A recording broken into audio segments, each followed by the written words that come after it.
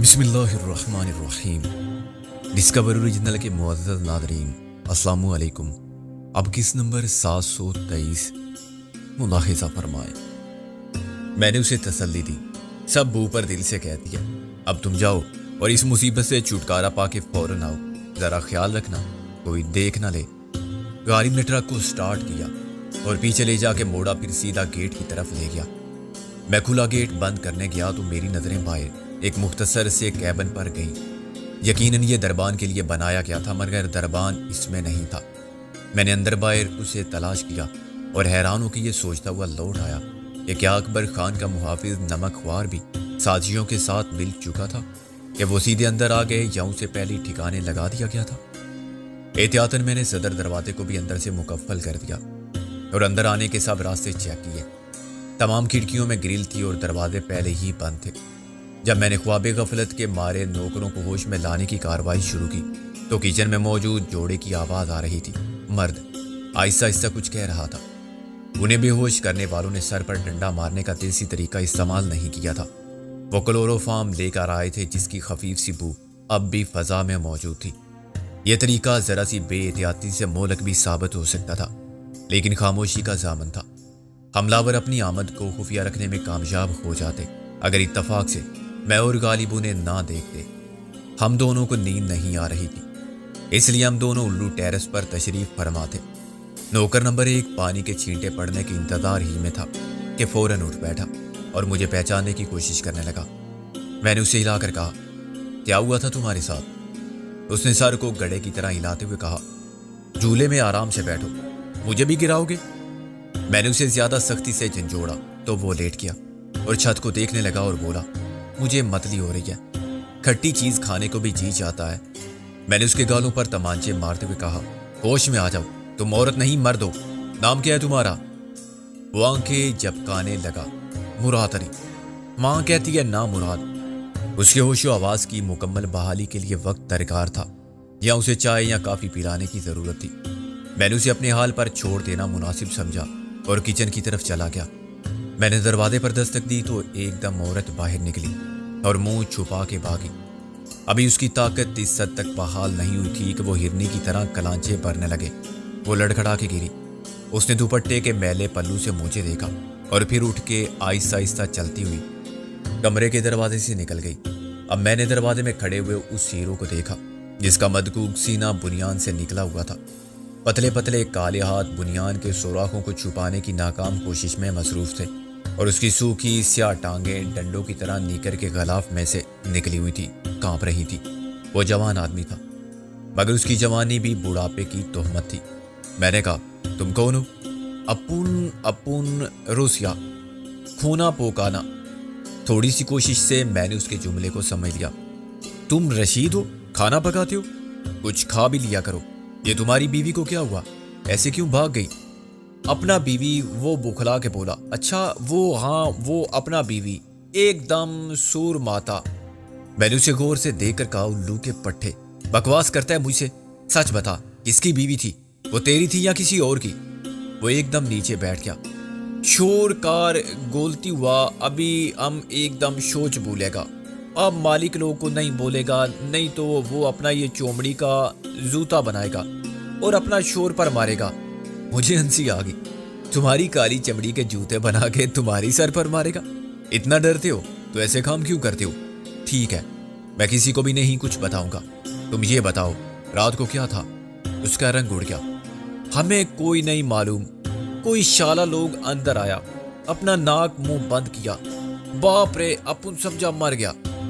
उसने ना कुछ देखा था, ना उसे कुछ मालूम था। कि बाद में दूसरों पर क्या गुजरी? उसे तो अपने स्कैंडल की फ़िक्र थी कि किस किस ने न जाने क्या क्या देखा होगा। मैंने उसे यकीन दिलाया कि कम से कम मैंने कुछ नहीं देखा। उसी वक्त गालिब ने दरवाजे की घंटी बजाई। मैंने रशीद से कहा कि वो काफ़ी बना के ऊपर ले आए और खुद दरवाज़ा खोलने गया। हम ऊपर चले गए। गालिब खासा खुश नज़र आ रहा था। उसने वापस आने में देर नहीं लगाई थी। वो जूतों समेत बिस्तर पर लेट गया। मैंने कहा, कहाँ छोड़ा वो मुर्दा खाना? गालिबन सा एक आते में। किसी ठेकेदार या कंस्ट्रक्शन कंपनी का होगा। बहुत सी नाकारा मशीनरी के दरमियान खड़ा कर दिया।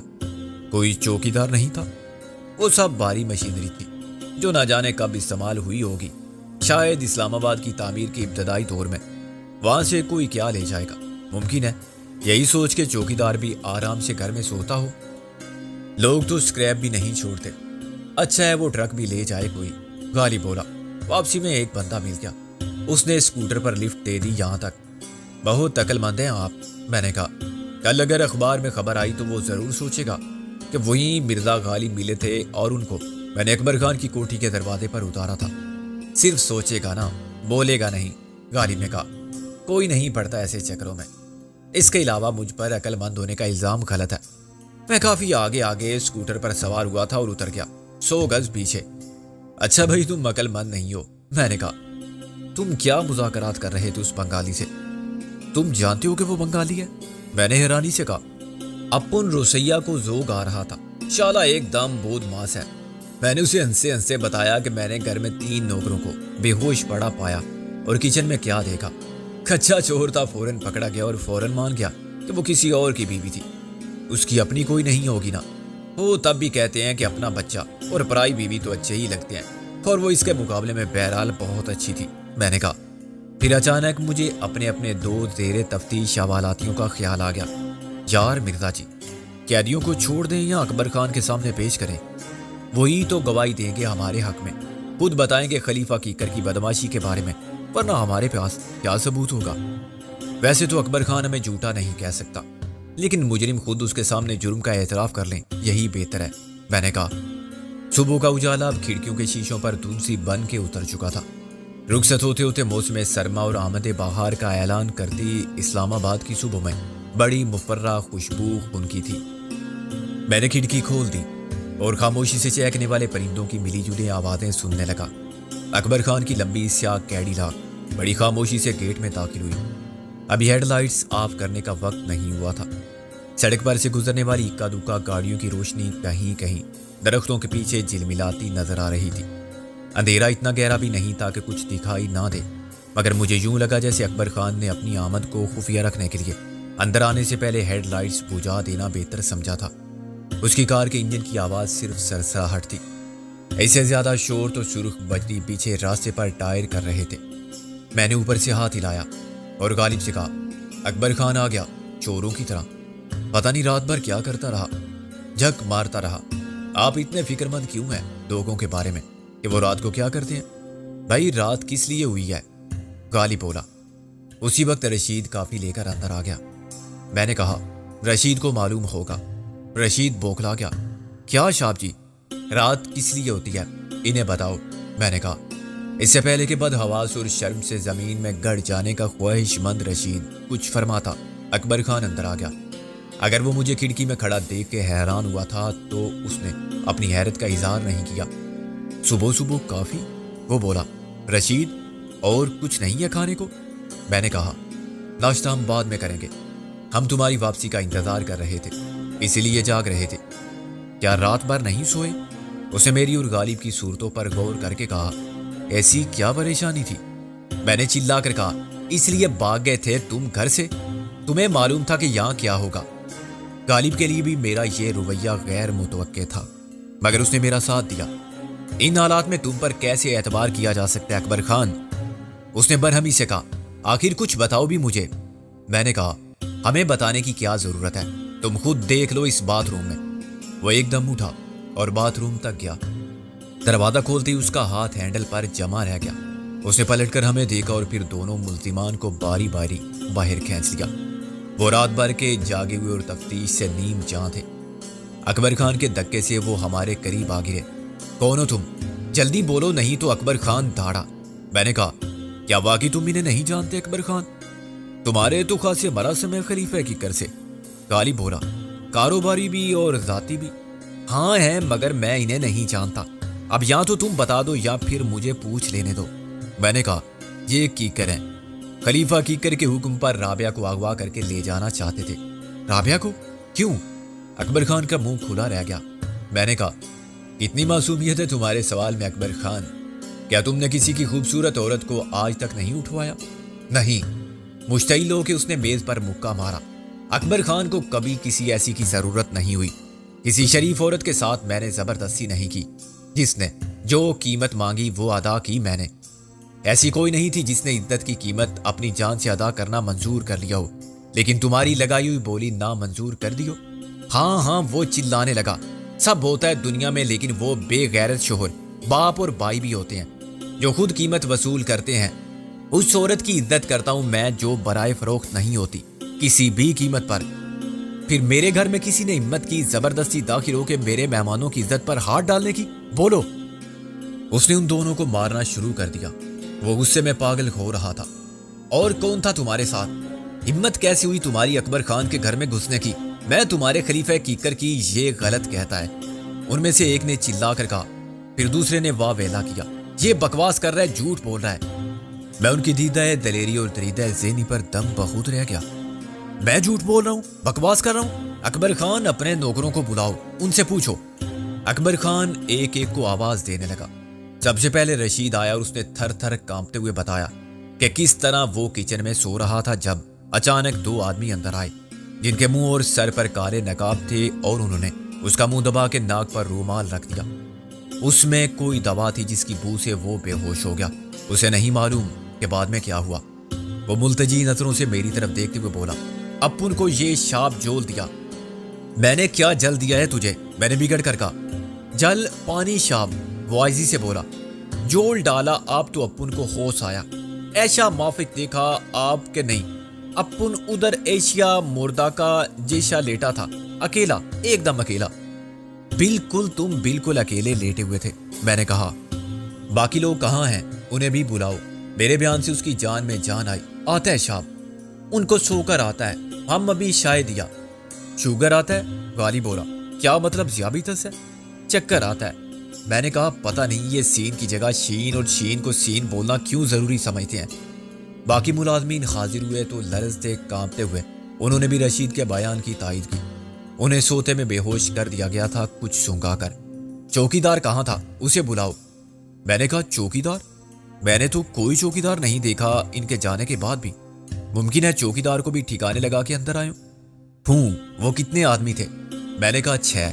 दो पकड़े गए, चार फरार हो गए। मुलजिमान ने फिर एहतजाज किया, ये गलत है, झूठ है। गुस्से की वो लहर जिसने अकबर खान को पागल कर दिया था गुजर चुकी थी, और अब वो काफ़ी पीते हुए कुछ सोच रहा था। मैं समझ गया था कि कीकर मौके से फ़ायदा उठाते हुए बयान बदलना चाहते हैं। झूठ और सच को दोनों अपने हक में अपनी बेगुनाही और हमारा जुल्म जबर साबित करने के लिए इस्तेमाल करके अकबर खान को हमारे खिलाफ करना चाहते हैं। लेकिन अकबर खान अब उनकी सुनने के मूड में नहीं था। उसने एकदम रिवाल्वर निकाल लिया मैंने जपट के उसका हाथ ना पकड़ा होता तो वो इन दोनों को वहीं शूट कर देता। मेरे सामने बोंकते हो कुत्ते, मेरा नाम अकबर खान है। अकबर खान, खलीफा कीकर नहीं। उसने खलीफा कीकर की शान में एक और कसीदा पढ़ा अकबर खान, यही तो असल गवाह है हमारे पास। इनको मार दिया तो उल्टे, अब मुजरिम हो जाएँगे, मैंने कहा। उसने एक लंबी गहरी सांस ली। ठीक कहते हो तुम। ये बताओ वो तो खैरियत से है ना? राबिया और नादो, मैंने कहा। वो तो नहीं है। नहीं है? क्या मतलब? वो चौंका। कहीं कहीं खुदा न खास्ता मैंने कहा, नहीं, अकबर खान। ऐसा होता तो हम तुम्हें ज़िंदा मिलते। वो हमारी लाशों पर से गुजरे बगैर इनको कैसे ले जा सकते थे? वो चली गई। उनका जाना ही बेहतर था। गाली बोला, कहाँ चली गई? कैसे? लाहौर चली गई। तुम्हारी दूसरी गाड़ी में। गाली बोला, उसकी चाबी नहीं थी हमारे पास।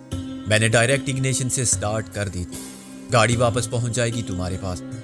उसने हाथ के इशारे से कहा, दफ़ा करो गाड़ी को और चलो तुम भी शक्ल गुम करो। इन खंजीरों को नीचे बंद करो। अगर ये भाग गए ना तो मैं किसी को ज़िंदा नहीं छोड़ूँगा।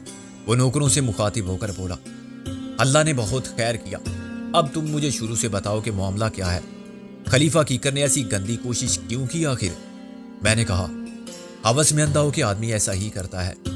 मैं तो उसकी नज़र को ताड़ गया था, लेकिन मुझे उससे ये उम्मीद ना थी। मैं निमट लूँगा उससे अकबर खान गाली देकर बोला, नहीं अकबर खान, जिनकी इज़्ज़त का मामला हो, ये उन्हीं का हक है।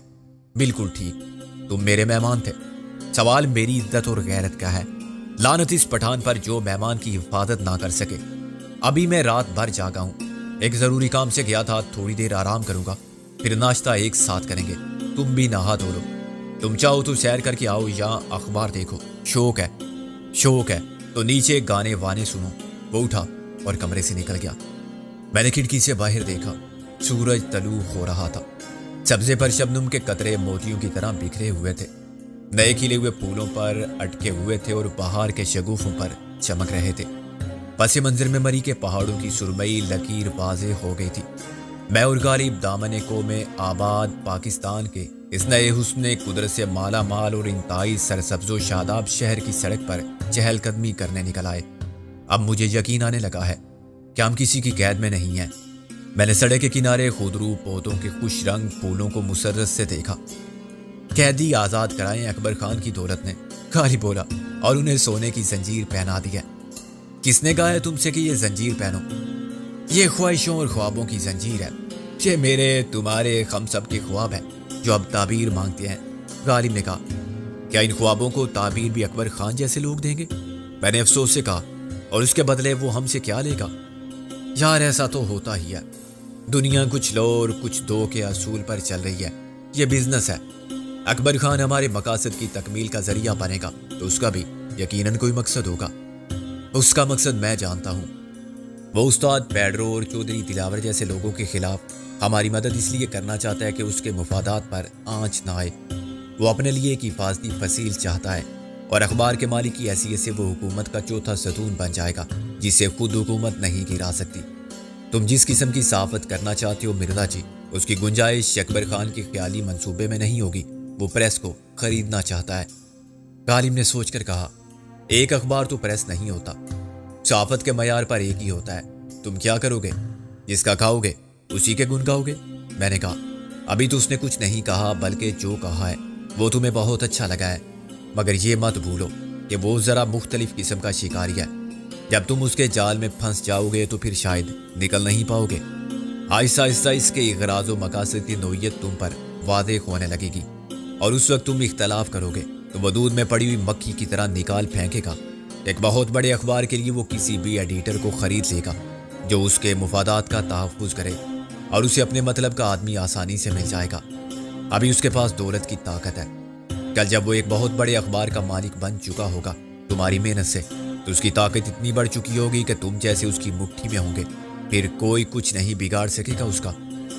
ये बिल्कुल ठीक कहा तुमने। कल ऐसा ही हो शायद, लेकिन मैं तो आज की फ़िक्र कर रहा हूँ, कारिम ने कहा।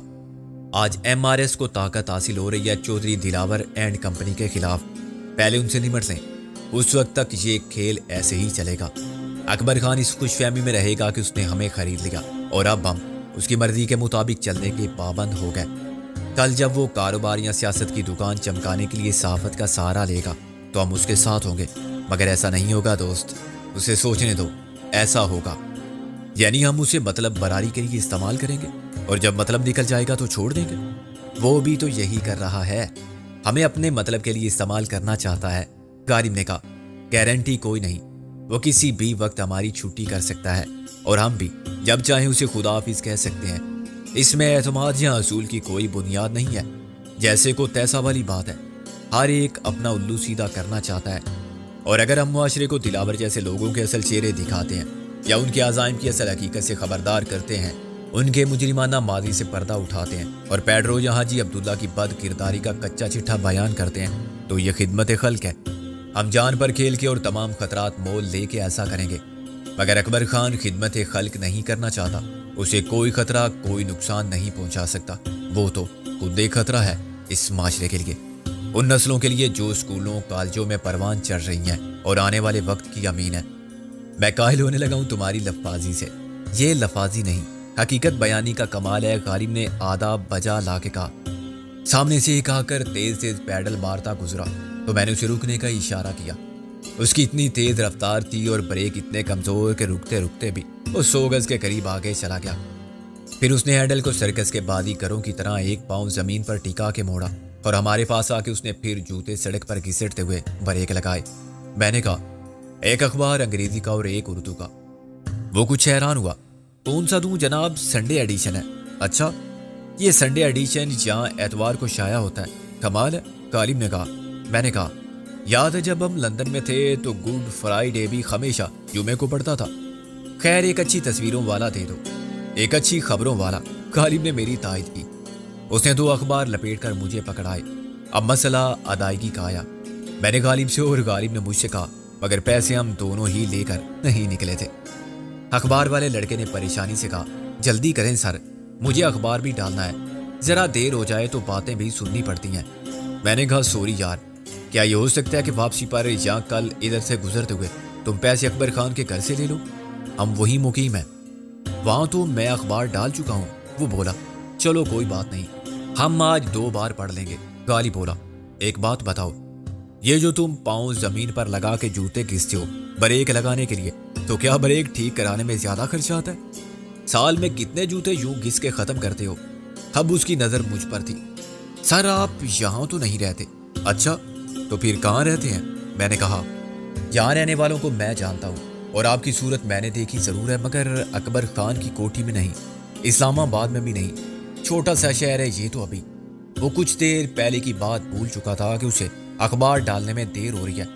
फिर कहाँ देखा है? कल तक सोच लेना। उसे एकदम याद आ गया। आप, आपकी तस्वीर तो अखबार में शाया होती थी। बिल्कुल ठीक। मैं रोज देखता था। सिकंदर बख्त नाम है आपका। उसका हाफजा मुशाहिदा बिल्कुल ठीक था, बल्कि आम लोगों के मुकाबले में इस एतबार से बेहतर था कि सब लोग बाकायदगी से अखबार नहीं देखते और इतने बहुत से अखबार नहीं देखते। उसकी नज़र से हर रोज कई अखबार गुजरते होंगे। उसका ज़्यादा बाखबर होना एक फितरी बात थी।